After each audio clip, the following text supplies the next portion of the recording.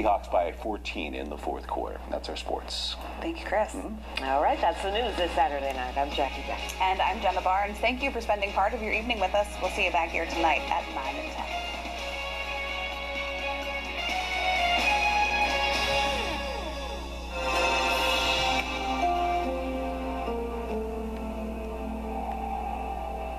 Sunday night at nine.